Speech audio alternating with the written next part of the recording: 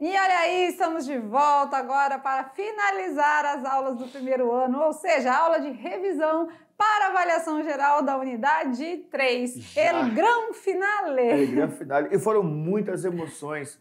Foram 93 aulas. Seis. Não, nós vamos chegar lá Ah, ainda. tá, não, então foram 94. Foram 93 aulas de conteúdo. Uma foi a, de, a, a da, da gincana. Essa da gincana a gente está ali porque ela é diferenciada, ela foi diferente. É, e teve o quiz revisional, né, Isso. né, depois. E aí, olha só que legal, nós passamos desde a construção de números, relembrando lá o seu ensino fundamental todinho, até chegarmos aqui em muitas aplicações, teorema de Tales, teorema de Pitágoras, trigonometria, coisas que você vai utilizar muito e nós esperamos de verdade que vocês tenham aproveitado e aproveitado muito bem todas essas aulas. Isso mesmo, né? E a gente chega ao fim com aquela mistura de sentimento de dever cumprido e coração partido, porque a gente se despede aí do primeirão. Mas, claro, né, a gente deixa um legado, né, de muito conhecimento, muito estudo, muito aprendizado junto com vocês. Vamos lá então, aula de revisão, hora de prestar atenção para fazer a avaliação, certo? Vamos de aula 95.1. Na telinha, então, nessa aula a gente vai rever alguns assuntos, como, por exemplo, APG, progressão, progressão geométrica, geométrica Vamos... Teorema de Tales Isso. e Teorema de Pitágoras. E aí vamos lá um pouquinho para o seno, cosseno e tangente, as relações trigonométricas e também a estatística. Isso. As queridinhas, moda média e, e mediana. Cinco aulinhas é. revisadas, cinco tá aulinhas ótimo, né? rápidas. Assim, não significando que ah, as cinco aulas, só vai gastar cinco aulas. Não. Nós é. acabamos de vir de um quiz revisional top e nesse quiz se eu não me engano, eu falei, ó, essa questão aqui estuda, uhum. vê essa questão aqui revisa.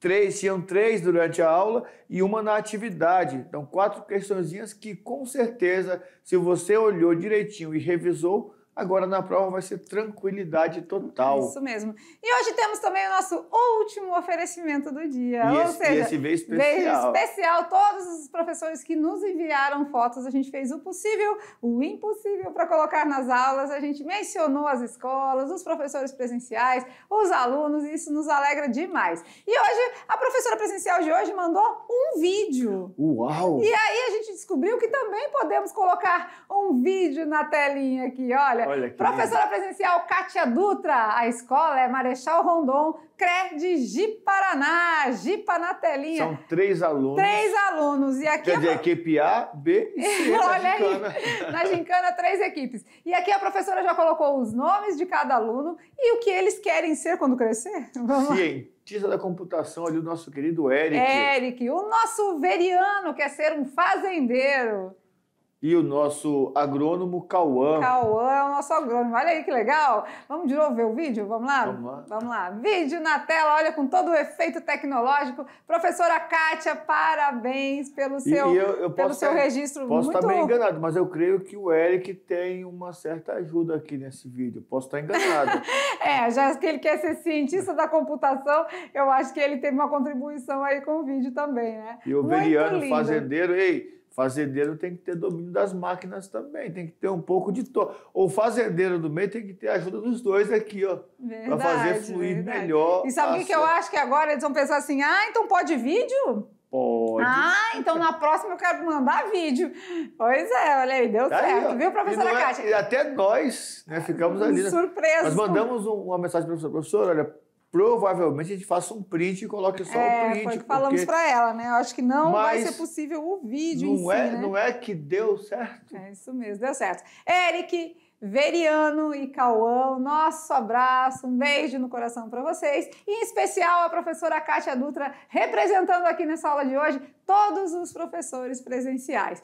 Muito grato por todo o reconhecimento com a gente, o nosso com carinho, né? A parceria, a amizade de sempre. Falamos aqui toda vez, somos equipe, ou seja, vocês aí, a gente aqui com produtora, com coordenação pedagógica, é isso que dá resultado e faz o sucesso dos meninos aí nas avaliações, nos Enem, Saeb, Saero, a gente vê isso acontecendo, é muito bacana, tá? Agora vamos de revisão, né? Porque o nosso objetivo da aula de hoje, é além é de nos despedirmos e, né, e deixarmos esse carinho para vocês, é fazer a revisão para avaliação. Então, na aula 64.1, vamos na telinha? Progressão geométrica na sua parte 1. Aí temos alguns itens, né? Os termos da PG, a classificação, vamos lá. Então, progressão geométrica é uma, uma sequência de números onde cada termo, a partir do segundo, é igual ao termo anterior multiplicado por uma constante, por uma razão, que agora é chamada de Q.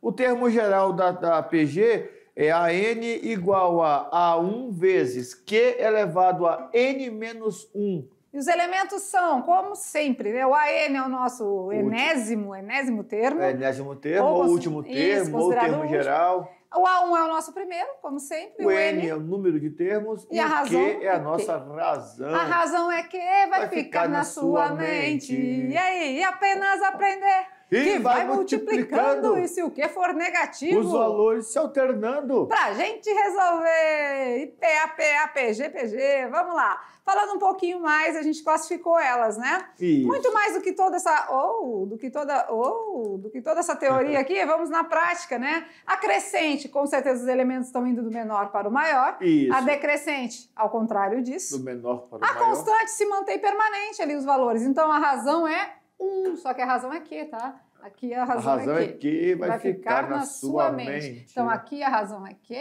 e aqui a razão é que. Na alternante a razão é negativa, menor que Beleza. zero. Por isso que alternam os resultados. Perfeito. Ainda falando de PG, temos um mapa mental aqui para fazer uma, isso. E aqui traz uma abordagem geral, da, né? De como encontrar a razão, de como fazer a soma dos termos, tanto da PG finita como da PG infinita. Então, nós temos tudo isso aqui que vocês podem ir observando. Mas nada mais do que essa revisão aqui foram as questões que nós fizemos com vocês durante as aulas, durante a revisão geral. Então, se vocês ficaram atentos e estavam ligados, tudo isso foi sucesso na progressão geométrica. Certinho, muito bem. Então, ainda falando de progressão geométrica, a gente deu um pulinho ali na aula 65, tá tudo dentro do mesmo assunto, tá? Então, a gente relembra com vocês a soma dos termos também, né? Isso. A soma dos termos tem a PG finita e tem a PG infinita. infinita. Aqui estamos com equações, fórmulas, que os professores presenciais tem autonomia e liberdade de, de colocar, colocar na, quadro, na, lousa, na lousa, no quadro, porque isso é o de menos. A gente quer que os alunos entendam os conceitos, interpretem as questões e saibam calcular, tá certo? Perfeito, beleza.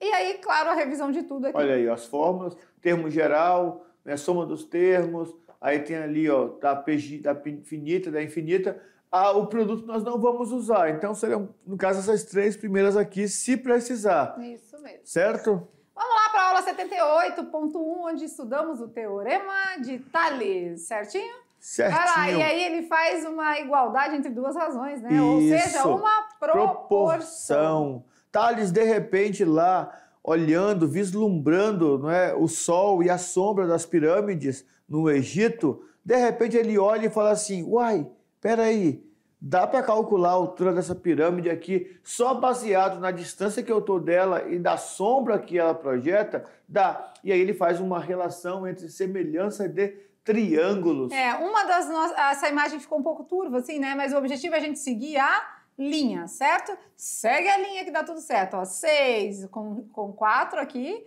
e x com 2. Aí multiplica-se cruzado e acha-se o valor de x, certo? Vamos certo. lá agora para o Teorema de Pitágoras, aula 78.1. Elementos do triângulo retângulo e, propriamente dito, o teorema que nos diz que...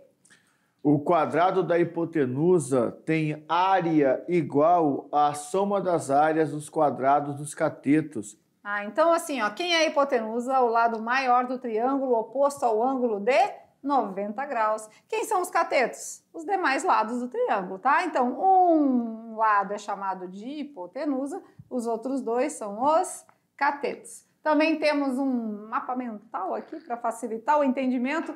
Esse mapa mental é legal, né? Porque ele traz a, a, o conceito, ele traz a fórmula, ele traz os elementos e ele traz um exemplo. Olha que legal o exemplo aqui. Então, temos uma escada, uma distância até o prédio e a altura do prédio. Quem é a hipotenusa? A hipotenusa é a, a o X lá, a escada. A escada, né? O comprimento da escada. Os catetos, um é 5 e o, o outro, outro, é 12. 12. Lembrando que temos os números pitagóricos também, né, que facilitam muito os nossos cálculos. Quando a gente sabe que, por exemplo, sabendo que os catetos é 3 e 4, já sabemos que a hipotenusa é 5. Então, são algumas coisas que facilitam.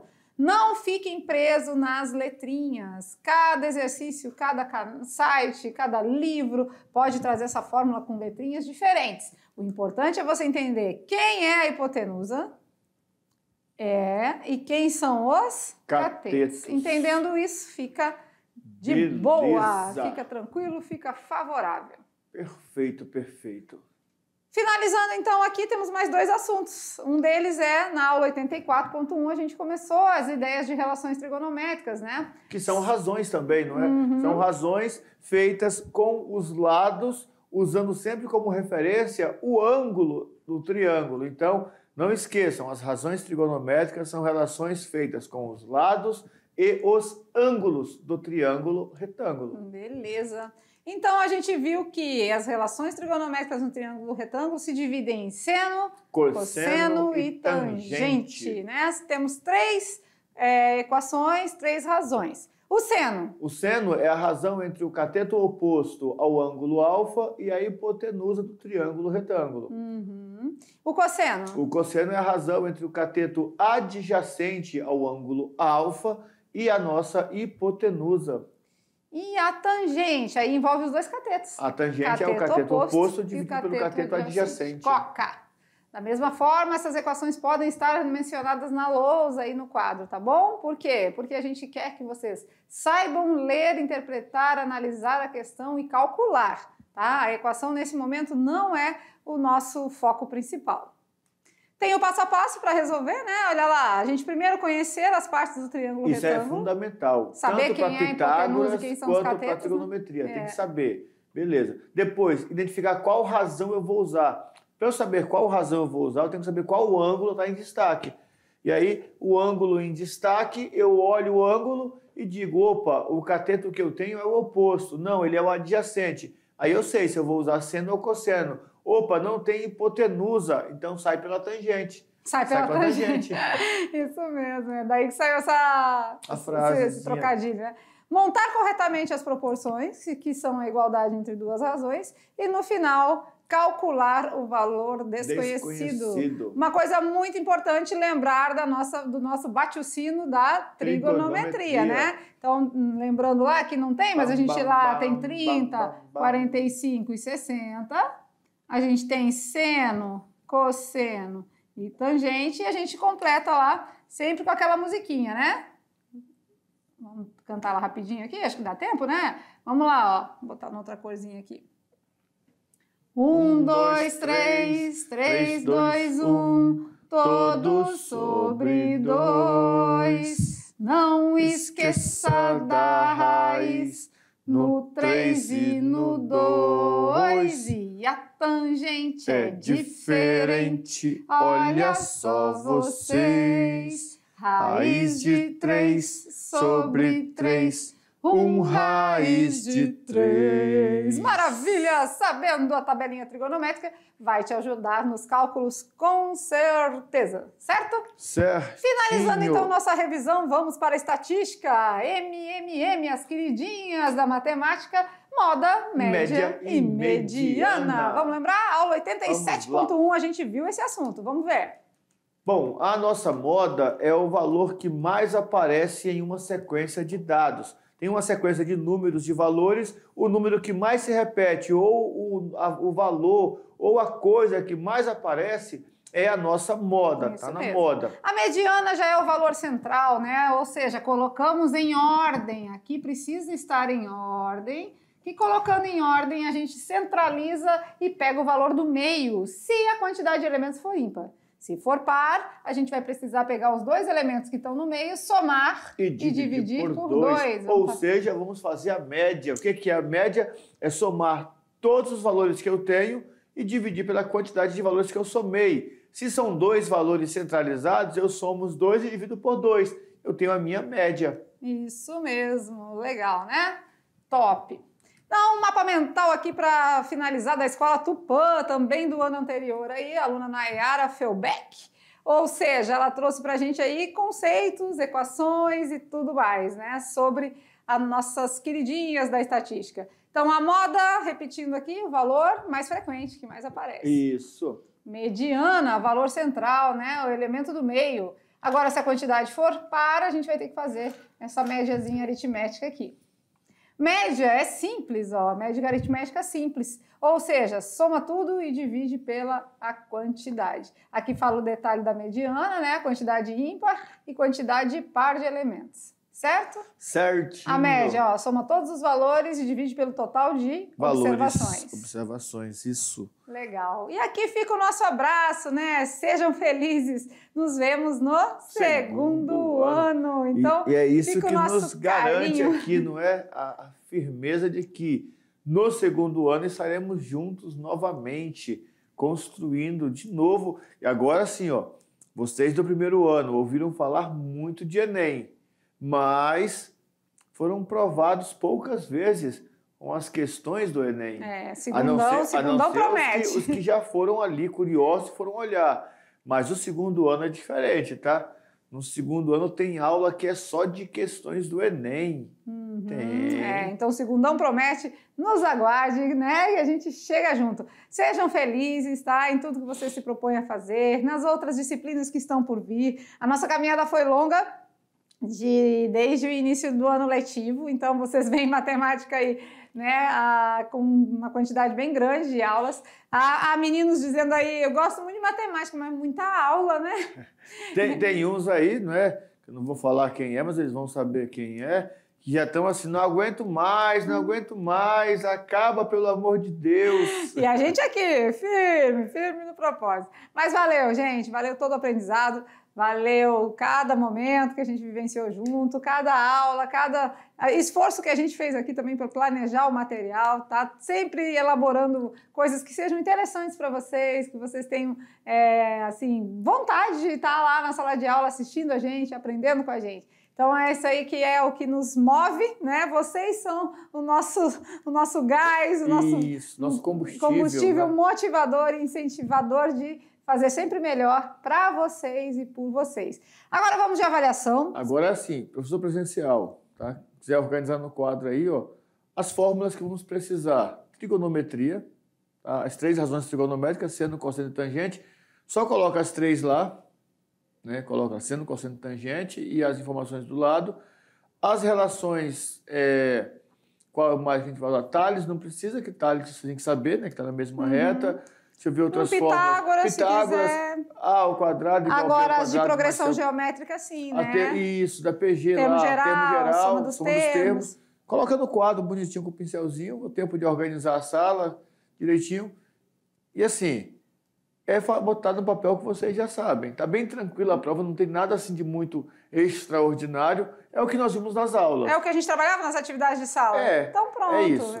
Até porque o, o conhecimento construído durante as 96 aulas é muito maior do que cinco questões da prova. É. é certeza absoluta. Então a gente nem vai falar mais em prova, é teste de conhecimento. Teste. Né? Tem, tem, que ter registrado os pontos, tem que ter a é. pontuação. Então, nesse né? teste de conhecimento, você vai testar o que você aprendeu pronto, e colocar pronto. aí em, em, prática. Então é isso, certinho? Beleza. Vamos lá, finalizando a nossa aula, então, vamos para o nosso cenário oficial para a gente dar um beijo bem grande aqui para todos vocês, um carinho, um chamego. Professores presenciais, sintam o nosso abraço, alunos queridos também. E a gente Fica por aqui. Temos aí uma aulinha de recuperação, tem, né? Tem. tem aquela aulinha aí para alguém e que aquele, possa que precise. Isso, e aquele sentimento assim, não sabemos qual nem quando, mas a qualquer momento podemos estar batendo na porta aí e falar assim, Voltamos. Oi. Oi, viemos visitar vocês, quem sabe, né? A gente chega em algumas, alguns polos, algumas escolas, um tá? cafezinho quentinho. Ou depois de julho. Ei, mas ó, fica aqui o nosso beijo no coração, tá? Boa avaliação, sucesso. Beijo para todos vocês. Tchau, tchau.